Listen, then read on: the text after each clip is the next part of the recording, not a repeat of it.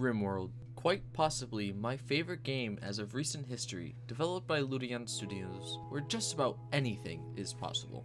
And when I say anything, I mean anything. Granted you use a few mods, or 100.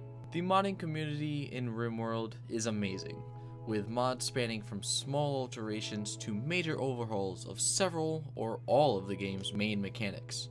Taking a collection of mods, I will be taking RimWorld to the crime syndicate scene, acting as a budding drug dealer that starts working out of a small shack to hopefully owning a prospering empire of my own, successful enough to fund a small country. Now, of the mods I'll be using, most notably would be Medicines Plus, VGP Garden Resources and Medicines, Chemicals and Neutroamine, Setup Camp, several vanilla expanded mods, including factions, and quite a few of my personal favorites. Now there will be a few general guidelines for the playthrough, just to add to the immersion. Any trading must include a significant number of drugs within the transaction. This will incentivize me to maintain my drug farm and not falling from it partway through once I'm well off. I should attempt to improve relations between hostile factions when possible in order to allow for further trading. Everyone likes a friendly drug dealer, especially on the rim.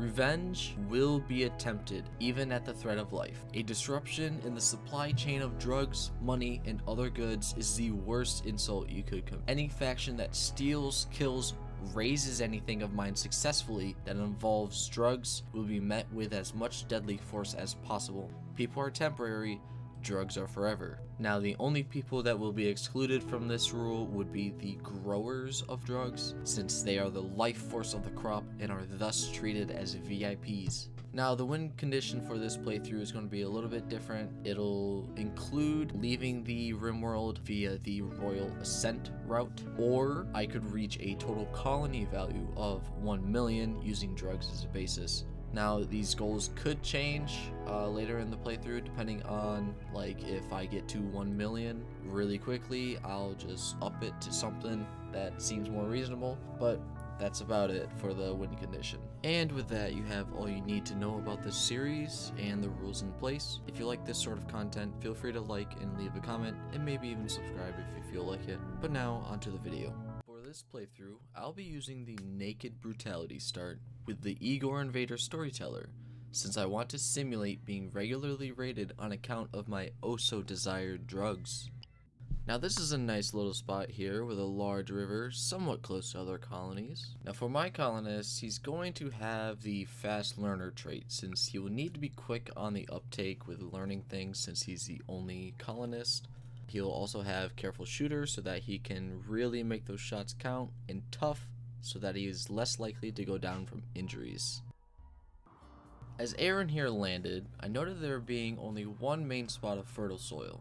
So that's going to be where he starts out. The first order of business was to get some wood so that he could build a fire and as building materials for the start. Now Aaron's first meal here was a bundle of berries that he harvested, but for his later meals he's going to want something more appetizing. The first rudimentary hut really showed off Aaron's poor construction skills. However, afterwards, he went hunting for some more food and leather for clothes, as he was quite upset about being naked out in the wild. The first night was uneventful, and Aaron spent it sleeping soundly in the small cabin by the fire. Aaron hunted some more for food and had some visitors wanting to stay for a little bit. However, since there were no extra guest beds, he will have to turn them away for the time being. Eventually, this place will be a bustling drug resort for visitors from all over the RimWorld. As Aaron was getting ready to prepare some tribal wear for himself, a mad monkey had appeared. While not the most difficult of animals to deal with, its small size proved difficult for Aaron to hit for quite some time.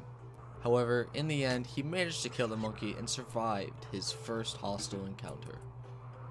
Aaron finished his tribal wear and played some horseshoes to celebrate.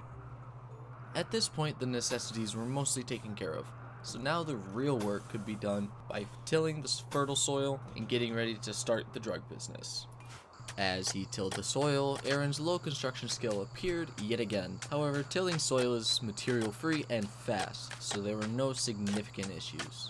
As I browsed the drugs available to plant, I noted that Papaver and Peyote were both faster than Psychoid. However, since I had no experience with those two in the past and had no clue which would be more profitable, I assigned Aaron to plant mostly Psychoid with small sections of both Peyote and Papaver. The small shack was expanded to allow for a research table, and I assigned both drug production and psychite refining to be research first, as that will be our main moneymaker. For the research table, I needed metal, and luckily for me, there was metal nearby to mine. However, Aaron was not very proficient at mining, so it took some time to mine just one cell.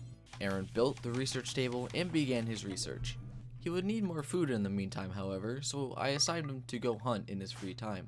I added a cotton plant section as well for future clothes.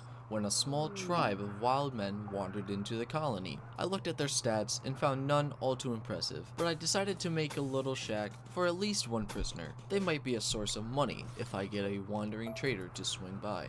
Aaron finally had his first harvest of drugs. Peyote was the first to bloom, with a market value of $6. However, it could be further refined in the future with the proper research. Aaron also harvested just one of the papaver to yield opium. Like the peyote, this could also be further refined with the proper research. The wild men eventually proved to be a nuisance, eating Aaron's limited food supply. So, Aaron ended up killing two of them and imprisoned the third as payback. Aaron provided quality healthcare and stripped a crash landed individual of their clothes since they had no more use for them. I finally assigned a rice field for Aaron after maybe just a little bit too long to stop requiring hunting trips for food. Aaron then managed to steal a whole cassowary from under a Feralisk's own nose. Once again, Aaron had another harvest of opium, and as he was harvesting berries to eat, a local boomalope had gone mad. Aaron dealt with it swiftly, the fire put out by a conveniently timed rain shower. Another transport pod crash. However, despite their skill set, they were a pyromaniac. That's a threat that Aaron could not worry about now, so they were ignored and left to die. As if karma had struck, Aaron had immediately gotten sick from sensory mechanites. It was not a terrible illness, but it caused pain that would become a problem later. The first harvest of Psychoid happened late at night, and after realizing that keeping the imprisoned wild man was consuming more food than needed, Aaron released them to continue to enjoy their life, only to promptly kill them for eating another one of his precious meals. The first expedition into the world was planned, and since Aaron was not a knight or a dame yet, he would have to travel further if he wanted to trade. The trip there was uneventful, and Aaron made his first transaction as a drug lord, trading drugs and some leathers for an auto pistol and a helmet. However, as he left the colony to return home, he fell into a sad wander due to the pain from the sensory mechanites, halting all movement on the world map. From there, it took about a day until he regained his senses and continued home uneventfully.